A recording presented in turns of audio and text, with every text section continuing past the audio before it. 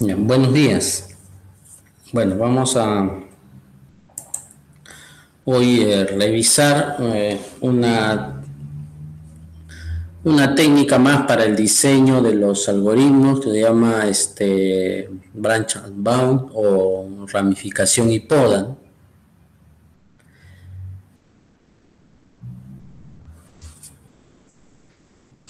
Bueno, eh, a ver, este esta técnica es una variante del backtracking. En realidad es este, vamos a decir, agregarle algunas condiciones adicionales a lo que se ha visto en backtracking, ¿no? Recordemos que la técnica del backtracking, ¿no? Eh, tenía como objetivo ir revisando los casos que se presentan y eh, tener pues una validación de estos eh, eh, casos y, y se va construyendo una especie de árbol, ¿no? Y se hace un recorrido en profundidad. Si es que detectamos que mediante esos, eh, esa ramificación ya no exista solución, entonces simplemente hacemos eh, regreso, ¿no? una vuelta atrás, ¿no? se llama backtracking, regresamos hasta el padre, el abuelo y así sucesivamente todas las veces que sea necesario y continuamos con la siguiente rama, ¿no? Bueno, este, esta técnica de ramificación y poda tiene eh, esa, esa misma idea, ¿no? De hacer uso de un árbol. Y ¿no? se utiliza bastante para problemas de optimización. Entonces, haciendo uso de un árbol de expansión, podemos analizar las posibles soluciones. Ahora, a diferencia del backtracking que utiliza un recorrido este, en profundidad, ¿no? Este ramificación y poda podría usar, además de recorrer en profundidad, puede recorrer este, eh, por amplitud, o sea, lo ancho. ¿Ya? O utilizando alguna función de coste ¿no? que permite seleccionar el nodo más prometedor. Entonces, eh, hay tres opciones aquí, ¿no? Que generalmente se usan en ramificación y poda para, para desplazarse en el árbol. Puede ser mm, no solo en profundidad como lo hace backtracking, sino además puede ser también un recorrido en anchura ¿no? Eh, o por amplitud, ¿no? o utilizando una función de coste que nos permite seleccionar este, el nodo. Esa función de coste eh, depende pues del problema. Ahora, eh, ¿qué condiciones adicionales se le agrega ¿no? al backtracking para que se pueda decir que estamos en ramificación y poda? ¿no? Cuando utilizamos esta técnica, eh, siempre definimos eh, cotas. ¿no? Ustedes saben que hablar de cotas puede ser cotas superiores o cotas inferiores. ¿no? Por ejemplo, si es un problema donde tengo que minimizar, entonces defino una cota superior, ¿no? sigo, quiero determinar el menor costo, entonces este, digo, este, tiene que estar debajo de 10, menor o igual a 10, entonces hay una cota superior, busco solamente para menores o iguales que 10. Ahora, si tengo que maximizar, ¿no? Calcular la mayor distancia, ¿no? Un mayor recorrido, ¿no? Eh, mayor este, utilidad. Entonces define una cota inferior, ¿no? O sea, busco el máximo a partir de 5 para arriba, por ejemplo, ¿no? Entonces define una cota inferior. Entonces, esas cotas que se definen permiten que se pueda eliminar, lo que llamamos ahora es podar. Podar significa eliminar una rama, ¿no? Si noto que esta rama no, no, cumple con la condición de la cota, entonces lo podo, lo elimino, ya no reviso en toda esa rama. ¿no? Esto permite ¿no? que eh, el algoritmo sea pues eh, o la, el conjunto de búsqueda ¿no? se reduzca, ¿no? Entonces eh, la eficiencia eh, mejore. En cuanto al costo, ¿no? o, el costo temporal, ¿no? Debido a la que se está reduciendo el espacio de búsqueda. Ahora, eh, una de las ventajas es que estos algoritmos pueden paralelizarse, ¿no? Es decir, trabajar este por diversas ramas, ¿no? Eh, trabajarlos pues de forma independiente. Entonces eso también mejora la eficiencia, ¿no? Pero a diferencia del backtracking que tiene ya una estructura para o una regla para todos los nodos, eh, en este caso, eh, necesita que en cada nodo se guarde la información, ¿no? por ejemplo, de la cota, ¿no? Que se va teniendo. Entonces se necesita un poco más de memoria, ¿no? Ya que es un árbol en el nodo, además de guardar el valor, este, debería guardar también, por ejemplo, el valor de la cota. Entonces para eso necesito separar memoria para generarle un campo más, ¿no?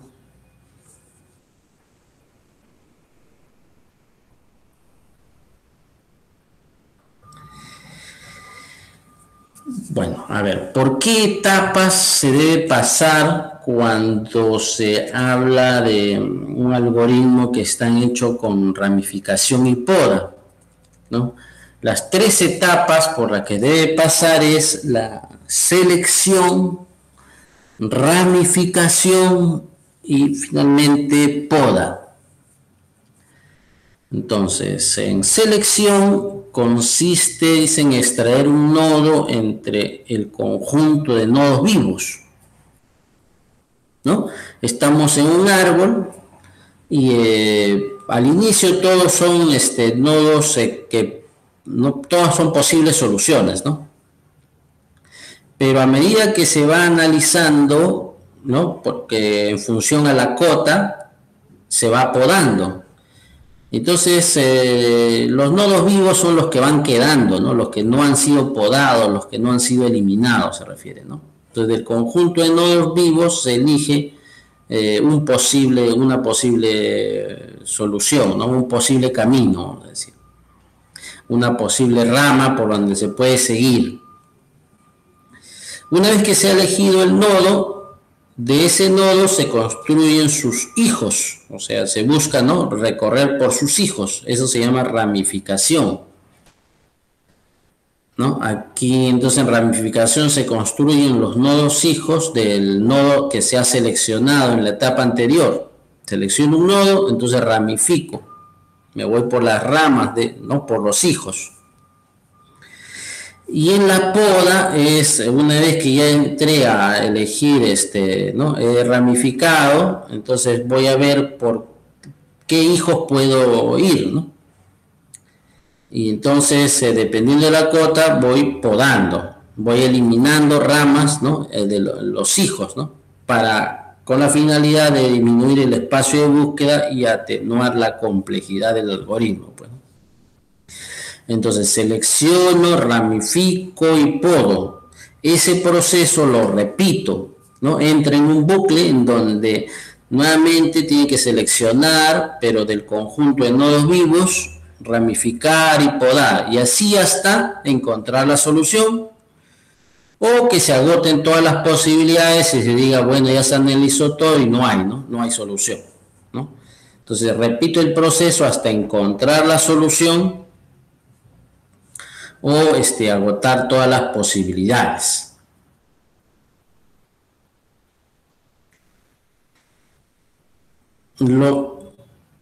y luego este, muestro aquí el pseudocódigo que debería tener ¿no? un problema que es resuelto mediante ramificación y poda.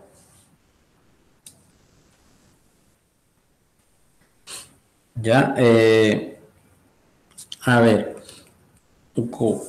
aquí se entra un bucle, pues decimos repetir hasta que, ¿no? Repetir hasta que la lista está vacía, hasta que sea eh, se haya revisado, ¿no? O podría ser hasta que se encuentre una solución.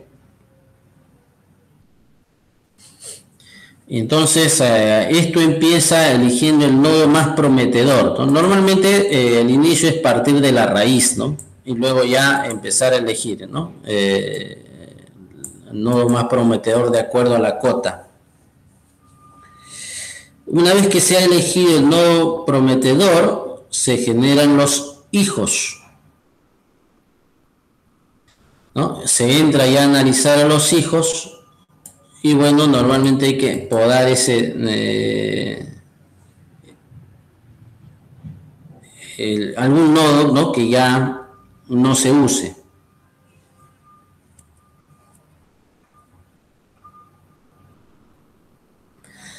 Luego, para, para cada hijo, hacer lo siguiente, ¿no? Para cada hijo entrar en un bucle. ¿Ya? Eh, si el costo del hijo es mayor que el coste de la mejor solución ¿no? que se tenga hasta ese momento, bueno, esto es, eh, depende, ¿no? Eh, se refiere a que, mm, bueno, si estás minimizando, si estás maximizando esto, este símbolo de mayor o menor puede cambiar, ¿no? En general, este, analizar si el, en el hijo es, eh, en el caso de minimizar, si me está generando mayor costo, entonces no tiene sentido analizar en ese, en ese hijo, ¿no? Se poda entonces el hijo. Si no es así, eso quiere decir que el hijo sería mm, una que probablemente me dé una mejor solución, entonces entro al bucle, ¿no? De si no. Y ahí decimos, si no es solución, ¿no? Si ese hijo no es una solución, entonces se pasa a la lista de nodos eh, de nodos vivos. Si fuera solución, ¿no? Si es solución, entonces, eh, esta sería la, mejor solución y se revisa la lista de nodos vivos eliminando los que prometen algo peor, ¿no?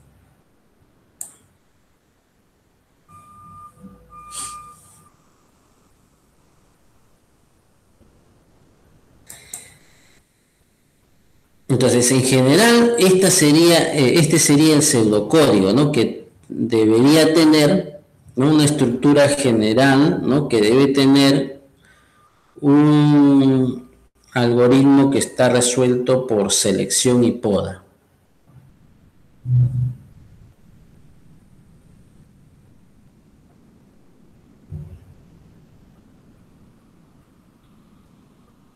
¿Ya?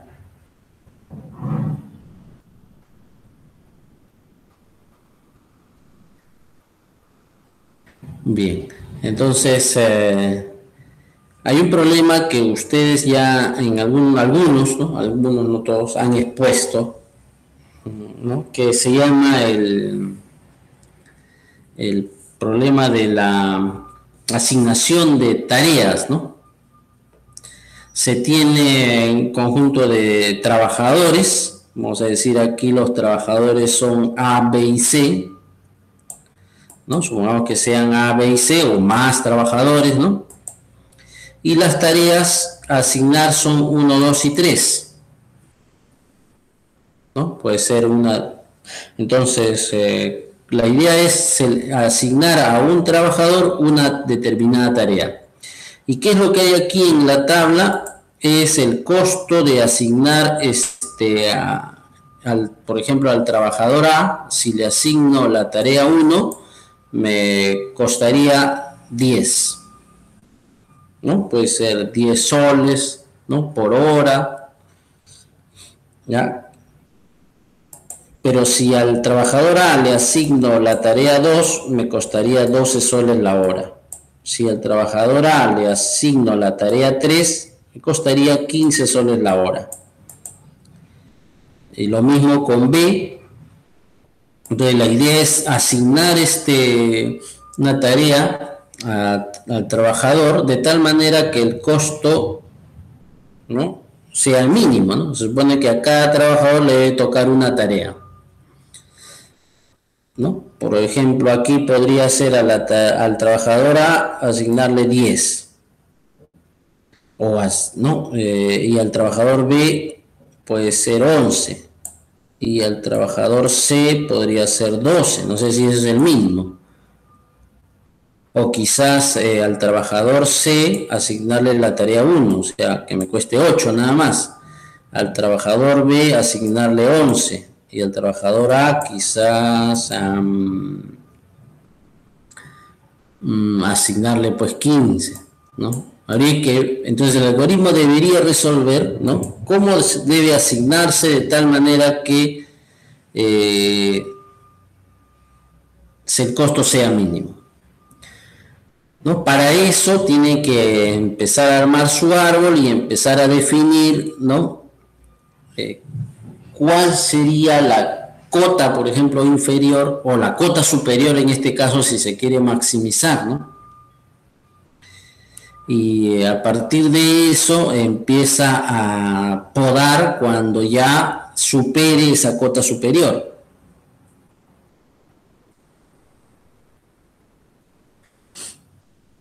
Entonces, eh, la idea aquí es eh, revisar este algoritmo, ¿ya? Otra vez por dos puntos, ¿no? plantear y explicar el algoritmo eh, usando de ramificación y poda para el problema de asignación de tareas.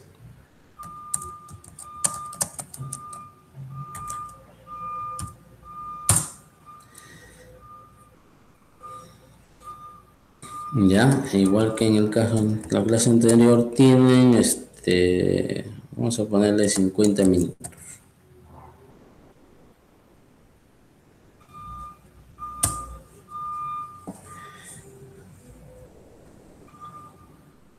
Ok, a ver, ¿alguna pregunta?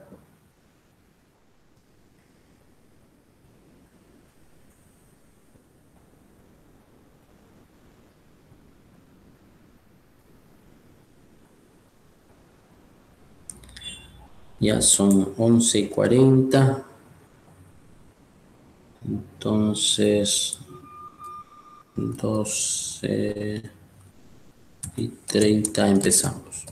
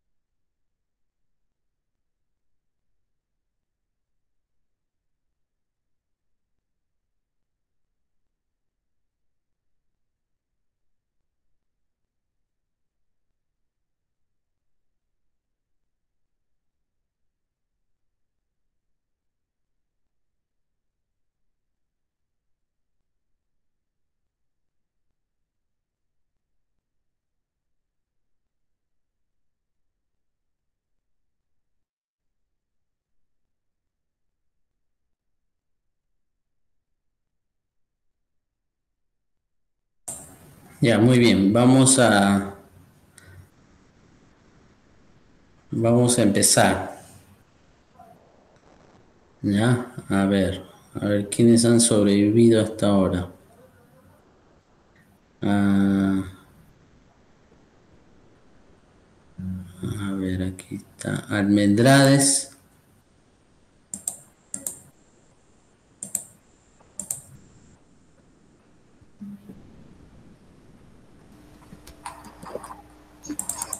Sí, profe. Ya, a ver, Almendrade.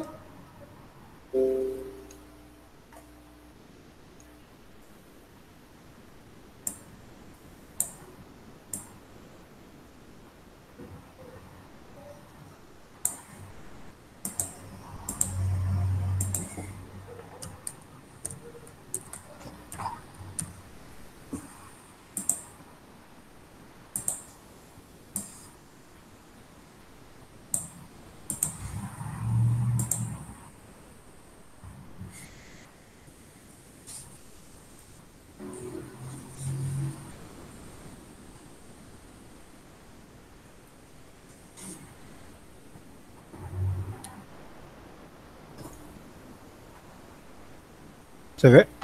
¿Se ve la mm, Todavía.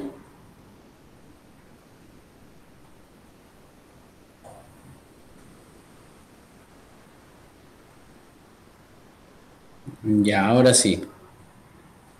Bueno, no, no, no, le, no le he podido terminar, profe, más o menos estaba, estaba planteando cómo, cómo podría ser, ¿no? Y más o menos lo que he encontrado, este, ¿cómo se llama? La manera de trabajar es que podríamos trabajarlo a partir de, o sea, estableciendo un, costo real mínimo y máximo para, en base a ello, o sea, ir, ir, trabajando la estrategia, ¿no?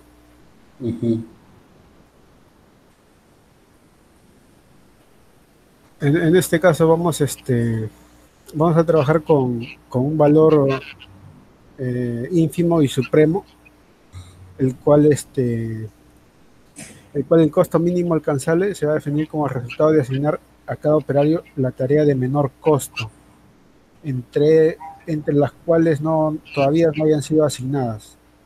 Y como costo máximo alcanzable, este, resultado de asignar al operario la tarea de mayor costo entre aquellas que todavía no han sido asignadas. Este, esto no nos ajusta con los resultados pero que, dio, pero más o menos este, nos ayuda a entender un poco, ¿no? Este, igualito, tenemos tres operarios con tres este, tareas para asignar, y el cual vamos a partir de lo siguiente.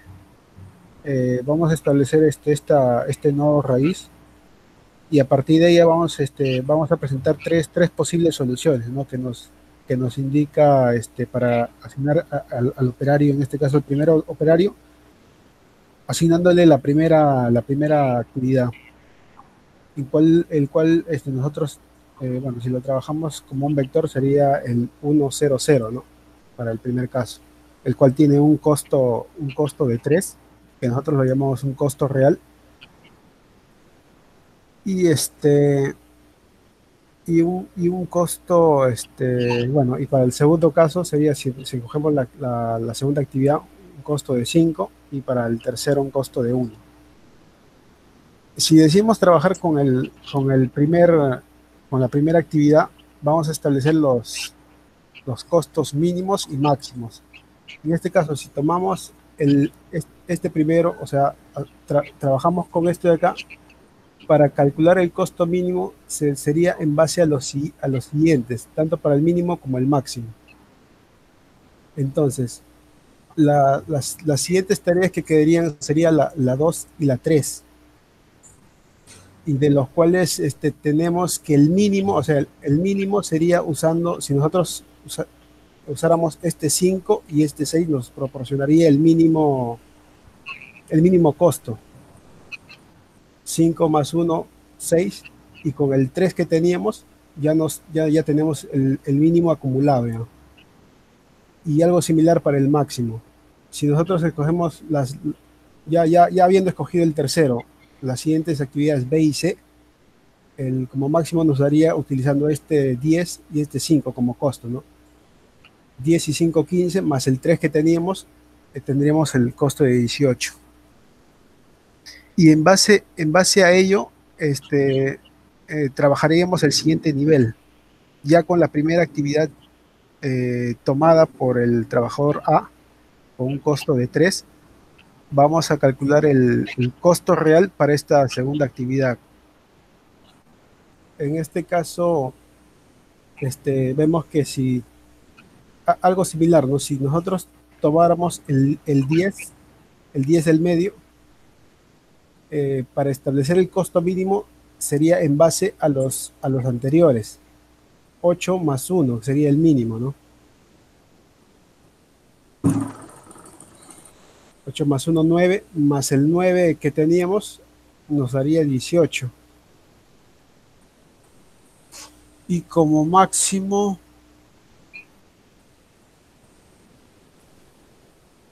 A ver. Ahí, ahí, para, para, el, para el caso de acá. Allá, disculpen. En este caso, este, para nosotros escogemos este segundo, el 10, el 10 pero con el, costo real de 3 que teníamos, nos daría un, un, resultado de 13. 10, 10 y 3, 13 como costo real.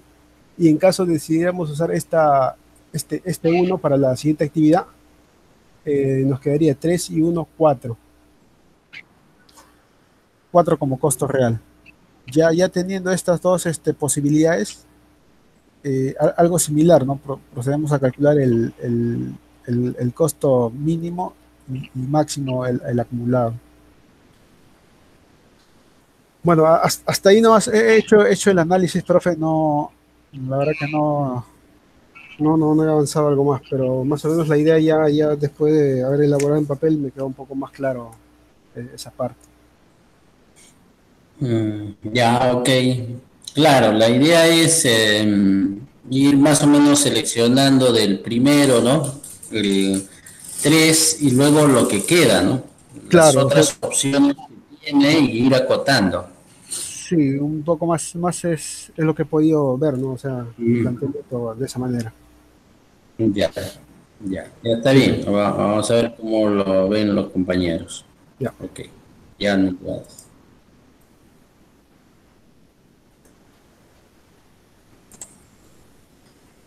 A ver.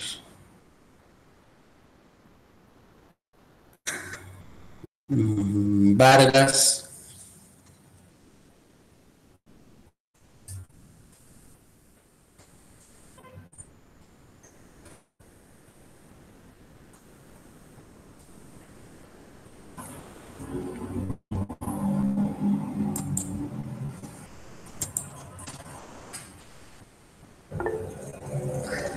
Vargas no está listo, ya. Ventosilla.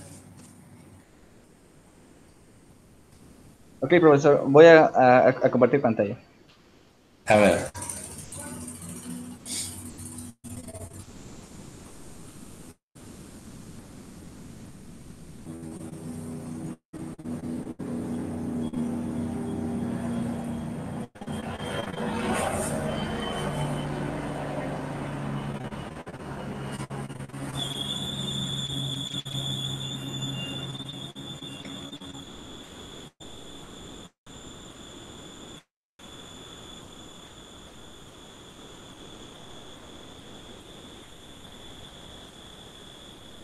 ¿Se, escucha? Sí. Sí. Este, la, idea que tuve para este, eh, para este problema, y bueno, por lo que puedo encontrar, es este, o sea, como dijo mi compañero anterior, ¿no? La, idea es este, asignar, eh,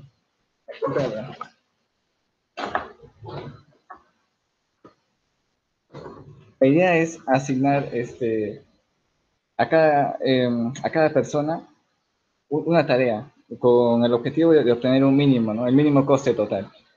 Entonces, eh, primero lo que se debe hacer es este, colocar en el nodo raíz este, el mínimo, el mínimo eh, total, ¿no? En este caso, no importa si, si, si, se, si se repiten tareas en una persona, pero este va a ser el mínimo total. Por ejemplo, en este caso, no sé si se nota bien, en este caso, este, sale 8 porque, bueno, pues la persona A tendría eh, la tarea 2, ah, bueno, la tarea 2, la persona B tendría la tarea 3, la persona C la tarea 1 y la persona D la tarea 2. Y en este caso, este sería un mínimo total, ¿no?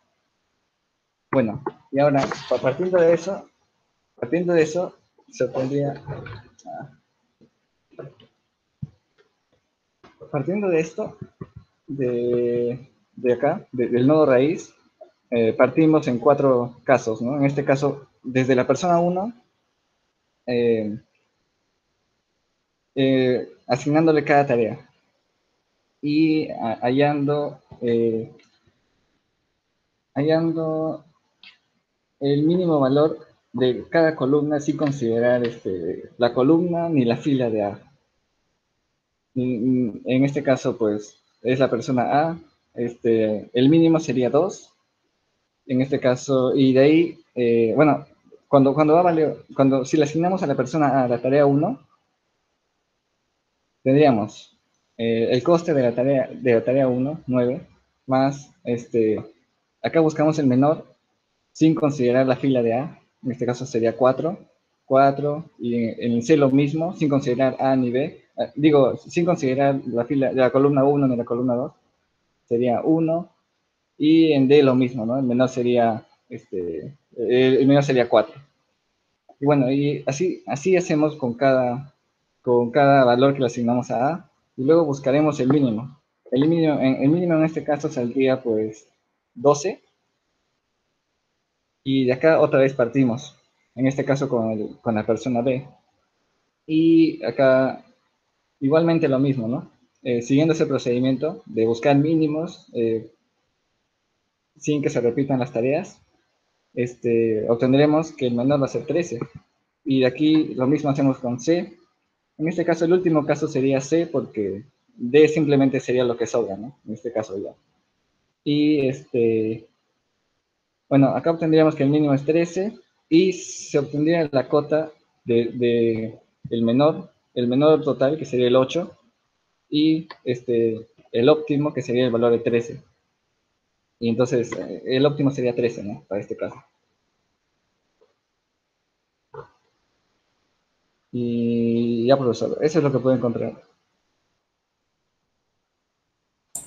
Mm, ya, ya, Ventosía, ya, claro, ahí está la, idea, ¿no? De buscar, ¿no? Eh, ¿Cuál sería este, lo mínimo posible y eso me permite ir acotando? Ajá. Ya, vamos a ver cómo lo han visto los demás. Ah, vamos a ver, ahora le toca. Mmm, ¿Quién falta? Yacolca. Sí, profesor, ahora voy a compartir pantalla. A ver.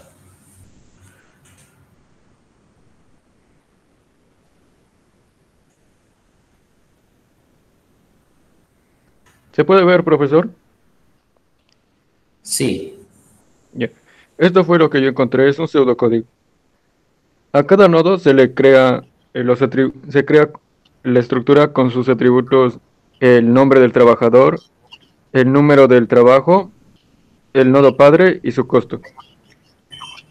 Eh, estos nodos están, como dijeron mis compañeros, en un árbol, donde la raíz no apunta nada, y sus hijos son todos los nodos y el hijo de cada uno de los nodos es el mismo, son todos nodos menos el, el que se eligió, menos el mismo. O sea, si se tienen nodos 1, 2, 3 y 4, el hijo de 1, 3 y 4. O sea, todos menos él. Y así se hace para cada trabajo. Cada nivel del árbol es un trabajo. Y acá se define que para encontrar el mínimo costo, como dijeron mis compañeros, en el primer nivel se encuentra el mínimo, el nodo de mínimo costo. Por eso es la función list, que es lo que nos va a devolver ese nodo. Y lo imprime. Luego utiliza una lista add que añade a todos los nodos a una lista de nodos vivos. En este caso, si es que fuera 1, 2, 3 y 4, los nodos y el que fuera elegido como mínimo fuera el 2, entonces los nodos 1, 3 y 4 quedarían como vivos y el padre sería E. Y esto se aplica recursivamente porque es un while hasta que ya no quedan más nodos. Y así haya el mínimo. Gracias, profesor. Mm, Ya, ok, este, ya colca.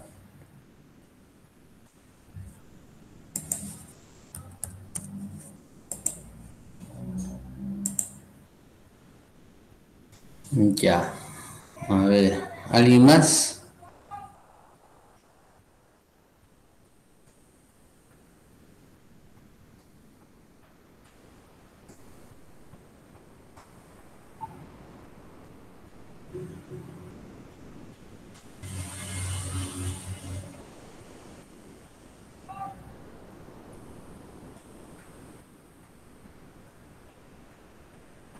Ya, entonces voy a presentar lo que van a hacer este para la siguiente semana. A ver. ¿Dónde estamos?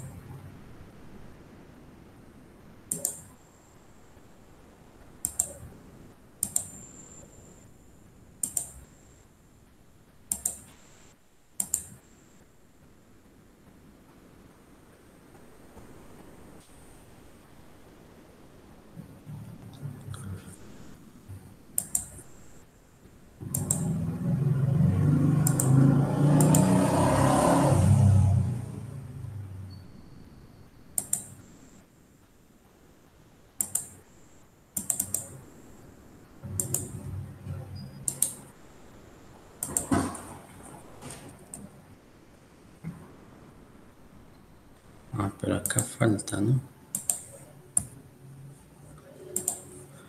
Faltan los puntajes. A ver, ya hemos evaluado cuatro puntos. Quedarían 16 puntos. Entonces, 8 puntos. Y aquí 8 puntos.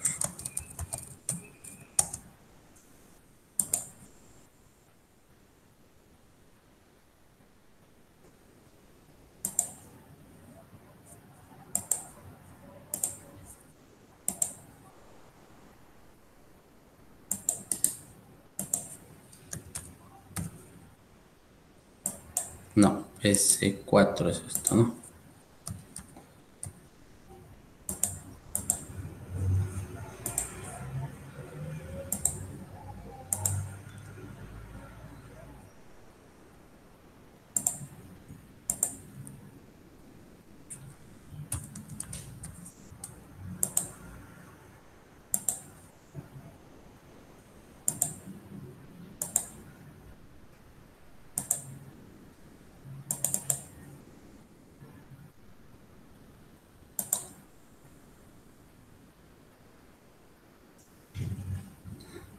Ya ahí tienen en la semana 5, semana 10, perdón.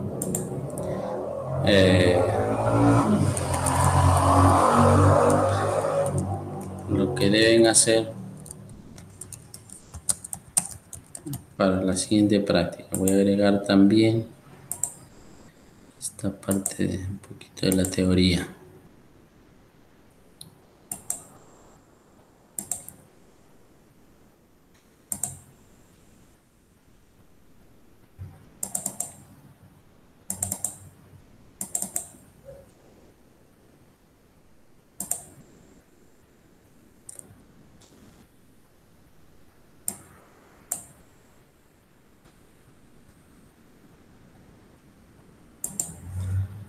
Ya, a ver, ¿Cuál es?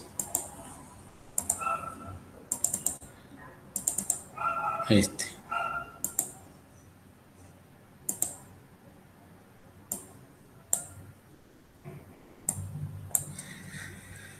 Ya, aquí está, ¿no? Dice resuelva eh, uno de los problemas de, por backtracking, ocho puntos. Ocho puntos, eh, resuelva un problema de ramificación y poda, ¿no?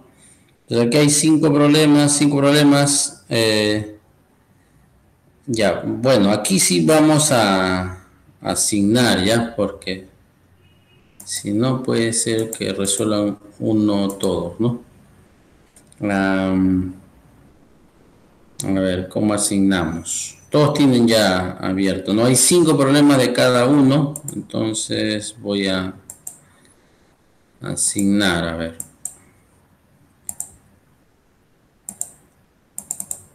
A ver cómo está esto.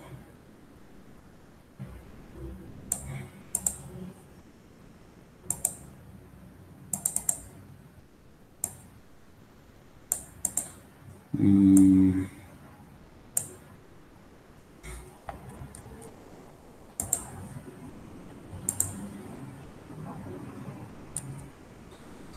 Aquí está, ya, a ver si queda. Esto lo pueden grabar también, ¿no? Eh.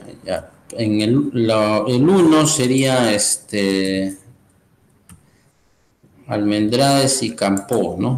La 2 sería Serna y Cruz Coro. La 3 sería Guevara y Palacios. Ya, la 4. Vargas eh, Ventosilla. De esos cinco que hay ahí, ¿no? Cinco problemas que hay, que revisar. Sería así, ¿no? Y el 5, Vera, y violeta. Bueno, y nos queda todavía Yacolca, Yaranga, entonces vamos a asignar así, ¿ah? A Yacolca 1, Ayagi 2, Ayana 3, ¿no? Ayaranga 4. Ya está. Entonces esto es eh, tanto para el lunes, para el lunes es de backtracking, ¿no? Y para el jueves de ramificación y poda. ¿No? Es decir, eh, a lo que me refiero es, por ejemplo, a Ventosilla, ¿no? A Ventosilla le está tocando el 4, entonces Ventosilla abre aquí el 4. ¿El 4 cuál es? Ah, el 4 a Ventosilla sería, de acuerdo al documento, a ver. Profe, disculpe, no, no se ve su pantalla. Ya, sí, voy a compartirlo. Voy a compartir, a ver presentar toda la pantalla o este ¿no? y ahora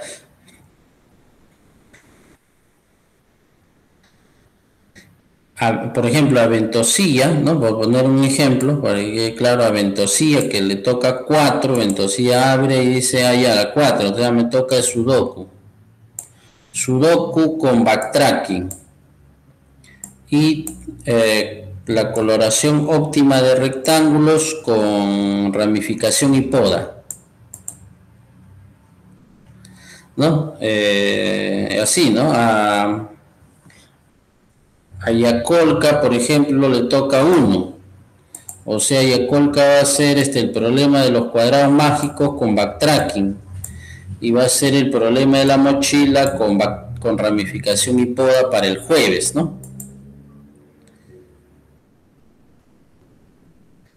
¿Ya? Eh, ¿Qué es lo que debemos hacer ahí? Explicar, ¿no? Eh, como hemos estado haciendo, ¿no? El algoritmo, el problema, el algoritmo, este,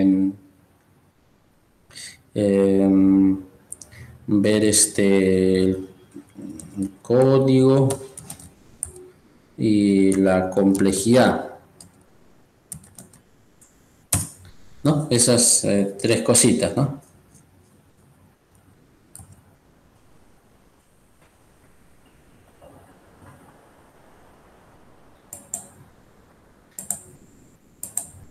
Ya, ah, a ver, está claro. ¿Alguien más va a presentar este, la solución? A ver si han unido algunos más. Vera.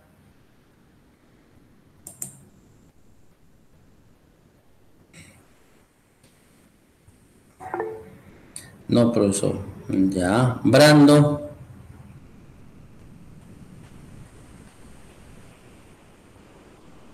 Ah, ya. Y Vargas.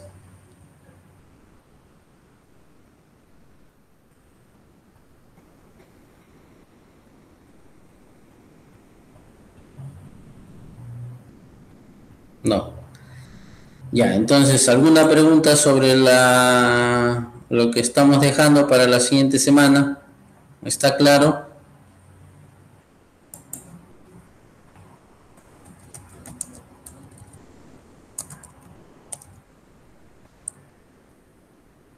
Lo de la siguiente semana.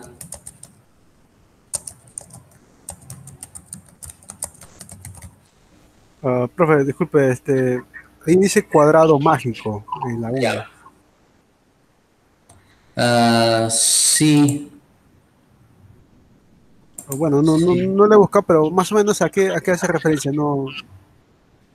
Uh, de repente hay varias, varias, hay diversidad, ¿no? En todo caso, el cuadrado mágico, este, si tú revisas, dice es, eh, a ver, cuando las cuadrado mágico.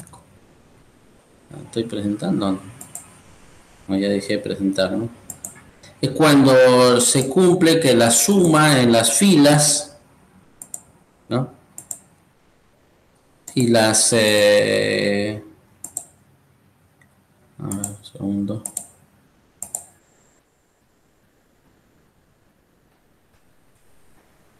Ya, a ver.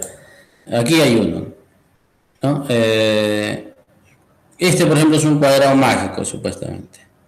No, la idea es completar, ¿no? Si es un cuadrado de 3 por 3, completar de tal manera que la suma de filas, por ejemplo, 4 más 9 más 2, ¿cuánto es? 13, eh, 15. La columna, 2 más 7, 9 más 6, 15. O sea, la suma de filas y columnas, inclusive diagonales, ¿no? 4 más 5, 9 más 6, 15. ¿No? y, hay una estrategia para completar eso, ¿no? Con esta, esta técnica. Entonces, por ejemplo, la solución así informal nada más es ampliar este, las... Eh, aquí tenemos una figurita donde se amplía tres arriba, tres abajo, como una especie de rombo, ir completando, ¿no? Pero hay que ver este, cómo se aplicaría esto en la técnica, pues, este, que se pide, ¿no? usando backtracking. Mm,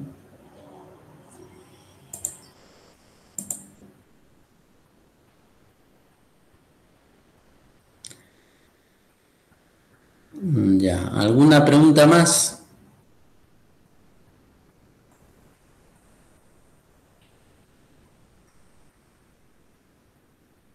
Allá, ah, por alumno, eh, por alumno serían lo que más o menos hemos dado, este, unos 20 minutos por cada uno aproximadamente, algunos un poquito más, un poquito más. La idea es que alcance para todos, ¿no? Pero un promedio de 20 minutos. Y las notas del parcial, ya, este, sí ahora lo termino, hoy día debo publicarlo, ¿no? Para que ya lo tengan.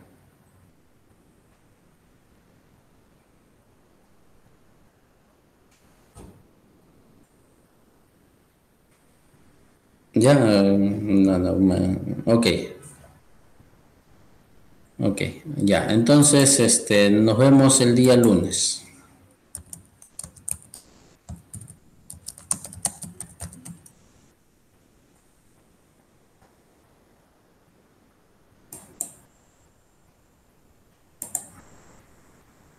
Ya, cuídense por ahora.